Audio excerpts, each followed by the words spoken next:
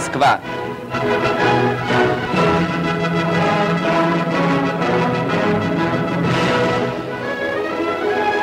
Сегодня, 17 июля 1944 года, солдатам Гитлера предоставлена возможность побывать в Москве. Вот они, 57 600 пленных немцев, остатки разбитых полков, дивизий, корпусов. Они на обширном поле ипподрома столицы. Здесь лишь недолгий привал. Отсюда их проконвоируют через Москву дальше, в лагере для военнопленных.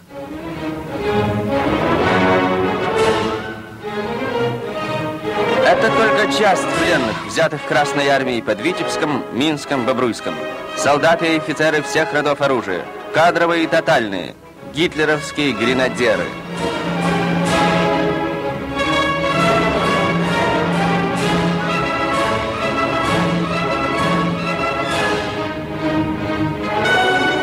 Вот их полководцы, их генералы.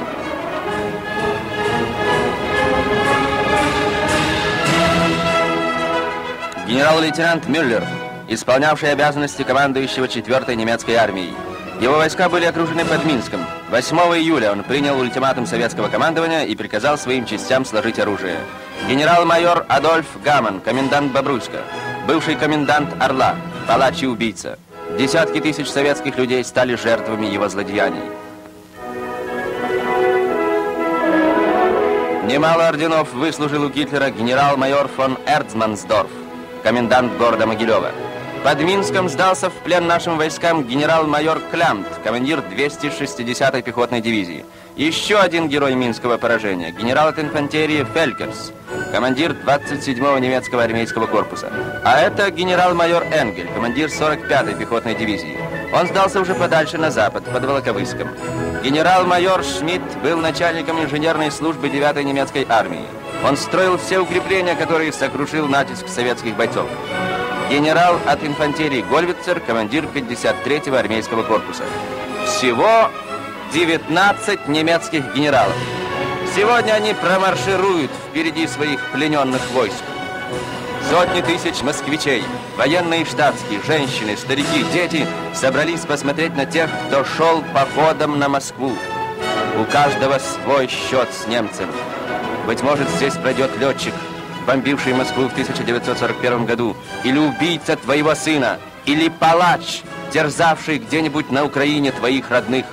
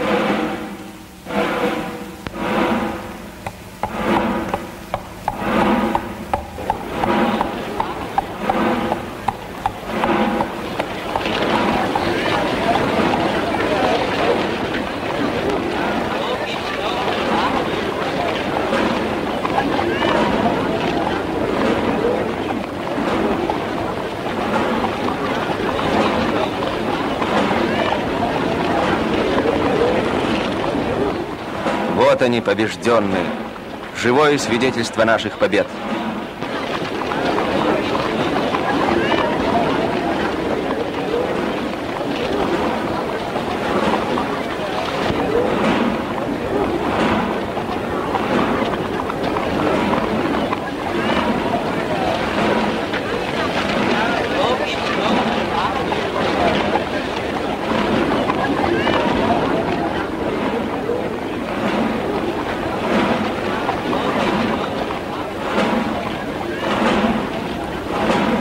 Вообразите их с оружием в руках, за броней танков.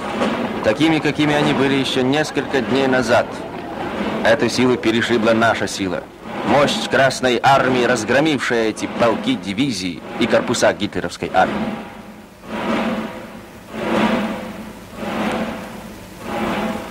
Пройдут годы, но поколение наше с гордостью будет вспоминать о героических днях великих побед Красной Армии и мощи советского оружия.